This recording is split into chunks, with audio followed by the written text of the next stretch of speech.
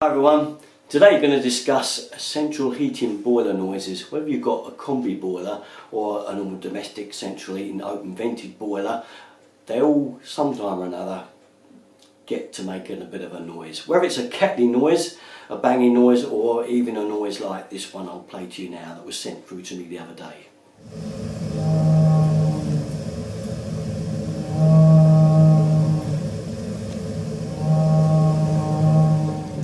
It's not that difficult to sort out really. Usually it means your boiler's a bit clogged up. So what we need to do is break that down. Now there's a couple of products that I really like out there, they're my favourite.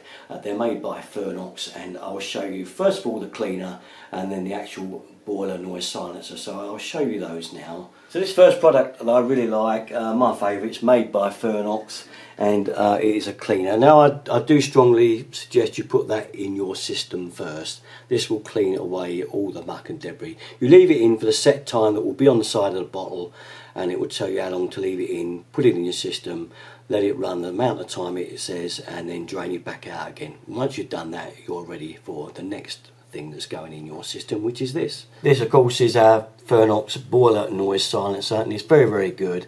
Uh, it does reduce boiler noise, it's very good. Now um, I'm not nothing to do with Fernox or the company. Believe me, I don't do anything for them or anything. This is just my recommendation over the years. There's lots of other makes of cleaner uh, and boiler noise silencers, but these just happen to be my favourites that I recommend.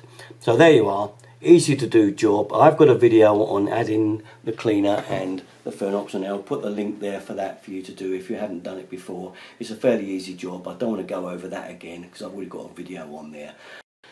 So there you are. You know what to do now, don't you? Simple job cure those terrible noises. Um, I mean, some of those bangs and bangs you get from some boilers are horrendous. I've been in some houses and the boiler's bouncing off the wall with the noise. Uh, it's easy to do. So, you know what to do. And all my videos, usual place, Dereton 33. Thanks for watching.